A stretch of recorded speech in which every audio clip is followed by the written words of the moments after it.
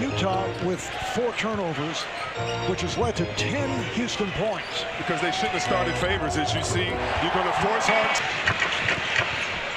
Harden met by Rubio. Took a swipe at it to attempt to knock it away. Oh, Harden over Rubio. Yes.